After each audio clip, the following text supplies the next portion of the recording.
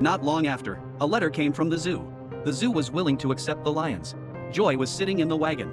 She wanted to accompany the lions on their last journey. Joey cried with a sense of sadness. What she didn't know was that George had secretly left Elsa behind. That day, Elsa saw a herd of elephants. She was so curious that she played with them. But she didn't realize she'd frightened the herd. The frightened elephants ran wild. They trampled the farmland and the houses. Then John, the owner, found them. With complaints and claims in hand, she begged John to give her three months so that Elsa could return to nature. John finally agreed. And then they took Elsa to a nature reserve 340 miles away. And they started training here.